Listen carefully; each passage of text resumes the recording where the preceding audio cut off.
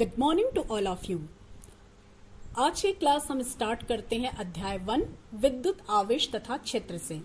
और प्यारे बच्चों, सबसे पहले हम नज़र डालते हैं कुछ घटनाओं पर। शुष्क मौसम में स्वेटर या ऊनी वस्त्रों को शरीर से उतारते समय हमें चटचट की ध्वनि सुनाई देती है। इसी प्रकार हमने देखा है कि जब आकाश में गर्जन के समय तड़ित का उत्पन्न होना और एक और घटना पर हम नज़र डालते हैं कि जब हम टीवी या कंप्यूटर के मॉनिटर के नज़दीक अपनी हथेली या स्त्री किया हुआ कागज़ जब हम पास लाते हैं तो हमें विद्युत संवेदन महसूस होता है। प्यारे बच्चों, क्या आप जानते हैं कि इन सभी घटनाओं के उत्पन्न होने का कारण क्या है? तो इन सभी घटनाओं के उत्पन्न होने का प्रमुख कारण हमारे शरीर में से होकर उन वैद्युत आवेशों का विसर्जन होना है, जो विद्युत रोधी पृष्ठों पर रगड़ के कारण एकत्र हो जाते हैं। और यह स्थिर वैद्युत या वैद्युत आवेश के उत्पन्न होने के कारण है। चूँकि यह आवेश रगड़ने या घर्षण से उत्पन्न होती है, अतः स्थिर वैद्युत को हम घर्षण वैद्युत भी कहते हैं। आइए अब हम देखें कि आखिर इसकी खोज कैसे हुई और किसने की। तो इसकी खोज का श्रेय जाता है 600 ईसा पूर्व ग्रीस देश के मिलेटस के निवासी थल्स को। उन्होंने यह पाया कि जब एम्बर नामक पदार्थ को ऊन या रेशमी वस्त्र से रगड़ा जाता है तो उसमें हल्की वस्तुओं जैसे कागज़ के छोटे छोटे टुकड़ों को आकर्षित करने का गुण आ जाता है। हालाँकि इस छोटे से प्रयोग का प्रत्यक्ष रूप से कोई विशेष महत्व नहीं था, लेकिन वास्तव में यही छोटा सा प्रयोग आधार बना आधुनिक युग का, आधुनिक युग का, आधुनिक युग में वैद्युत के जन्म का। लगभग 200 साल तक इस खोज की तरफ़ किसी का ध्यान नहीं गया। अब हम आते हैं सोलहवीं शताब्दी में, जब गैलीलियो के समकालीन डॉक्टर गिलबर्ट ने प्रमाणित किया कि एम्बर एवं बिल्ली के खाल की भांति बहुत सी अन्य वस्तुएँ, जैसे कांच तथा रेशम, लाख और फलानेल आदि भी हैं, जिन्हें कि जब हम आपस में रगड़ते हैं तो उनमें भी छोटे छोटे पदार्थों को आकर्षित करने का गुण आ जाता है। घर्षण से प्राप्त इस प्रकार की विद्युत को घर्षण विद्युत कहा जाता है। इसे हम स्थिर वैद्युत भी कहते हैं। बशर्ते पदार्थों को रगड़ने से उन पर उत्पन्न आवेश वहीं पर स्थिर रहे, जहाँ वे रगड़ से उत्पन्न होते हैं। अतः स्थिर वैद्युत की भौतिक विज्ञान की वह शाखा है, जिसकी विषय वस्तु वैसे आवेशित पदार्थों के गुणों का अध्ययन है, जिन पर वैद्युत आवेश स्थिर रहते हैं। इसे हम इलेक्ट्रोस्टैटिक्स के नाम से जानते हैं। इलेक्ट्रो अर्थात इलेक्ट्रॉन या चार्ज स्टैटिक्स मतलब एट रेस्ट अर्थात इस ब्रांच में हम आवेश एट रेस्ट या चार्जेस जबकि वो विराम अवस्था में है, उससे संबंधित गुण धर्म का हम अध्ययन करते हैं। क्योंकि ग्रीक भाषा में एम्बर को हम इलेक्ट्रॉन कहते हैं, इसलिए इस अद्भुत गुण को विद्युत या इलेक्ट्रिसिटी का नाम दिया गया।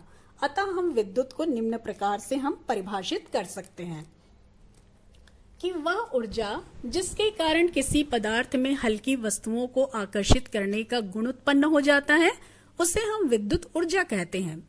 साथ ही साथ जिस पदार्थ में हल्की वस्तुओं को आकर्षित करने का गुण उत्पन्न हो गया, उसे हम विद्युन्मय या आवेशित कहते हैं। और जब कोई पदार्थ विद्युन्मय या आवेशित हो जाता है तो हम कहते हैं कि उस पदार्थ में आवेश उत्पन्न हो गया है। तो इस प्रकार हम देखते हैं कि विद्युत आवेश प्रत्येक मूल कणों का एक अंतर्निहित गुण है, जिससे प्रत्येक पदार्थ के परमाणु के इलेक्ट्रॉन व प्रोटॉन के कारण वह विद्युत बल आरोपित कर सकता है, तथा विद्युत बल पर प्रतिक्रिया बल भी आरोपित करता है। विद्युत आवेश एक अदिश भौतिक राशि है, इसका ऐसा ही मात्रक गुलाम है। विराम में विद्युत आवेश को हम स्थैतिक आवेश भी कहते हैं।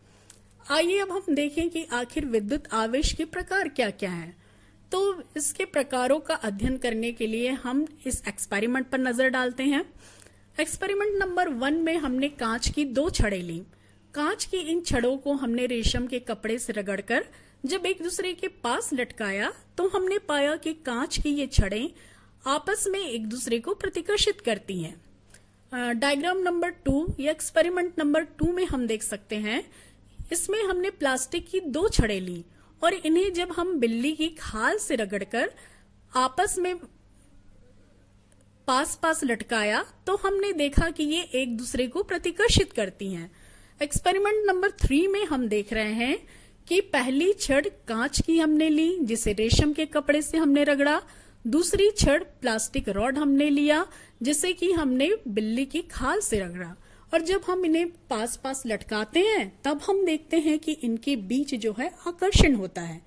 प्यारे बच्चों, क्या आप इसका कारण बता सकते हैं? जी हाँ इस प्रयोग से हमें यह निष्कर्ष निकलता है कि कांच की छड़ों पर उत्पन्न आवेश एक ही प्रकार के हैं।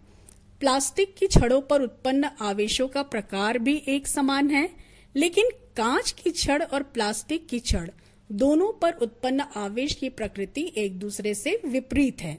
तो इस प्रकार बेंजामिन फ्रैंकलिन नामक वैज्ञानिक ने परिपाटी के अनुसार हमें यह बताया कि कांच की छड़ों पर उपस्थित आवेश को हम धन आवेश का नाम दे दें, प्लास्टिक की छड़ों पर उपस्थित आवेश को हम ऋणावेश का नाम दे दें। और इस प्रकार हम यहाँ से इस कंक्लूजन पर पहुँचते हैं कि समान आवेश एक दूसरे को प्रतिकर्षित व विपरीत आवेश या विजाती आवेश एक दूसरे को आकर्षित करते हैं। आइए अब हम आगे बढ़ते हैं और हम देखते हैं कि आखिर इन आवेशों का मेज़रमेंट कैसे किया जा सकता है। तो इसके लिए एक एपरेटस जिसे कि हम गोल्ड लीफ इलेक्ट्रोस्कोप के नाम से जानते हैं, उसका प्रयोग किया जाता है। इसकी संरचना पर हम नज़र डालें तो यह यंत्र एक कांच की बोतल के समान होता है इसमें एक धातु की छड़ चित्रानुसार खड़ी सेट रहती है। इस धातु की छड़ का ऊपरी सिरे पर धातु की डिस्क लगी होती है तथा इस छड़ के नीचे वाले सिरे पर अर्थात दूसरे छोर पर सोने की दो पत्तियाँ लगी होती हैं। आइए हम इसके कार्यविधि पर नज़र डालते हैं। जब हम किसी आवेशित वस्तु को धातु की डिस्क के संपर्क में हम लाते हैं तो वस्तु पर उपस्थित कुछ आवेश की मात्रा धातु की छड़ से होती हुई सोने की पत्तियों तक पहुँच जाता है, तथा प्रतिकर्षण बल के कारण पत्तियाँ जो है फैल जाती हैं। सोने की पत्तियों में फैलाव वस्तु पर आवेश की मात्रा का एक अनुमानित मान प्रदान करता है। अर्थात, पत्तियों में यदि फैलाव अधिक है तो वस्तु पर उपस्थित आवेश अधिक होगा, तथा फैलाव यदि कम है तो इसका तात्पर्य यह है कि वस्तु पर उपस्थित आवेश की मात्रा कम होगी। इसके द्वारा हम दो आवेशित वस्तु की आवेश की प्रकृति के बारे में भी हम जानकारी प्राप्त कर सकते हैं। इसके लिए सबसे पहले एक वस्तु को धात्विक छड़ से संपर्क कराते हैं, जिससे स्वर्ण पत्तियों में फैलाव आता है। अब दूसरी वस्तु को स्पर्श करवाते हैं। यदि दोनों वस्तुओं पर समान प्रकृति का आवेश होगा तो पत्तियों में और अधिक फैलाव आएगा। और यदि दूसरी वस्तु पर विपरीत प्रकृति का आवेश है तो सोने की पत्तियों के फैलाव में कमी आएगी। तो इस प्रकार इस इलेक्ट्रोस्कोप से हम यह भी पता लगा सक लगा सकते हैं कि वह दो वस्तुओं पर उपस्थित आवेश समान प्रकृति के हैं या कि विपरीत प्रकृति के। आइए अब हम आगे बढ़ते हैं और नेक्स्ट कंसेप्ट की ओर चलते हैं, चालक तथा विद्युत रोधी। प्यारे बच्चों, यदि हम तांबे की छड़ को हाथ से पकड़कर ऊनी वस्त्र से रगड़ें तो ऊनी कपड़े से तांबे की छड़ पर स्थानांतरित आवेश शरीर से होते हुए धरती में चला जाता है और फलस्वरूप छड़ आवेशित नहीं हो पाती। इसलिए चालक छड़ को एक कुचालक पदार्थ का हैंडल लगाया जाता है जिससे वह कुचालक पदार्थ इलेक्ट्रॉन को धरती में प्रवाहित होने से रोकता है।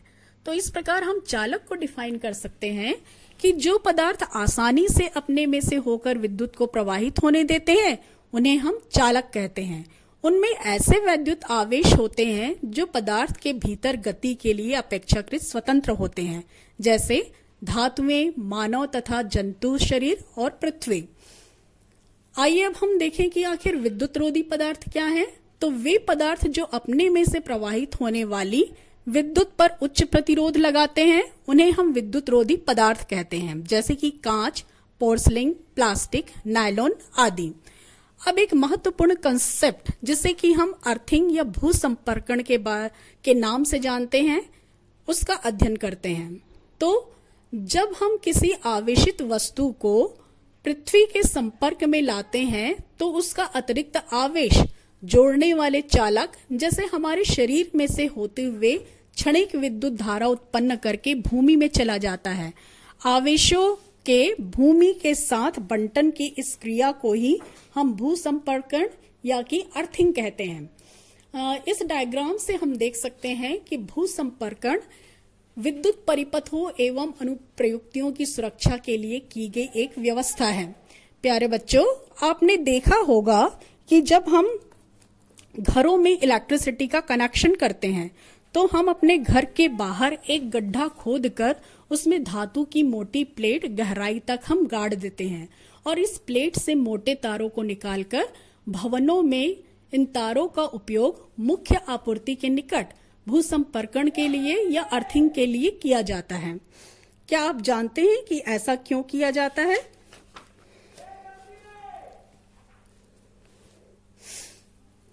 ऐसा इसलिए किया जाता है कि ताकि यदि परिपथ में कोई त्रुटि होने या विद्युत में तार का धातु के आवरण से स्पर्श होने पर आवेश भूमि में प्रवाहित हो जाए। यदि ऐसा ना हो तो क्या होगा? यदि हम इस अर्थिंग के द्वारा हम तार को हम ना जोड़ें तो यह तो इससे क्षति पहुँचना या दुर्घटना होना अपरिहार्य हो जाएगा, क्योंकि हमारा मानव शरीर विद्युत का बहुत अच्छा चालक है। तो इसीलिए हम जब घरों में विद्युत की आपूर्ति करते हैं तो हम तीन तार का उपयोग करते हैं। विद्युन्मय तार, उदासीन तार तथा भू संपर्क तार। इनमें से पहले दो तार विद्युत धारा को शक्ति स्टेशन से युक्तियों तक ले जाते हैं, तथा तीसरा तार भूमि में गड़ी धातु की प्लेट से जोड़ा जाता है। जब भी हमारे घरों में प्रयुक्त इलेक्ट्रिकल अप्लायंसेस जैसे विद्युत स्त्री रेफ्रिजरेटर, टेलीविज़न के धातु के आवरण भू संपर्क तार से जुड़े होते हैं। और जिससे कि यदि परिपथ में कोई त्रुटि आ गया या विद्युत में तार का धातु के आवरण से स्पर्श हो तो उनमें उपस्थित जो आवेश है, वो भूमि में प्रवाहित हो जाए। और इस प्रकार इन अनुप्रयोक्तियों को कोई हानि नहीं होती तथा मनुष्यों को भी कोई क्षति नहीं होती। यहाँ पर इस डायग्राम के माध्यम से हम देख सकते हैं कि आखिर हमारे घरों में अर्थिंग सिस्टम या तड़ित चालक क्यों लगाए जाते हैं। हम देखते हैं कि यदि हम तड़ित चालक लगाएँ तो जो तो आकाश में तड़ित के समय जो विद्युत विसर्जन होता है, वो विद्युत विसर्जन तारों के माध्यम से भूमि में प्रवाहित हो जाता है और जिससे कि हमारे भवनों को कोई क्षति नहीं पहुँचती। तो इस प्रकार हम देखते हैं कि अर्थिंग वह व्यवस्था है जिसके द्वारा हम अपने भवनों की सुरक्षा कर सकते हैं। साथ ही साथ इलेक्ट्रिक परिपथ और अनुप्रयुक्तियों की सुरक्षा भी किया जा सकता है। तो आज की क्लास